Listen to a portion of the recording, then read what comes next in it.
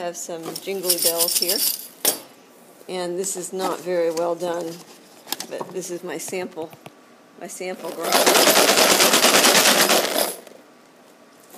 And what you do with these, if you're familiar with it, um, it's tradition tradition for the Jews to read the story of Esther twice. In fact, during Purim, once at night and another time in the morning. And well, they go to synagogue, and you're allowed to dress up in different costumes. And you go to synagogue, and as they read the story, every time you hear the name of Haman, they shake knees and stomp their feet and make lots of noise to drown out the evil name of Haman.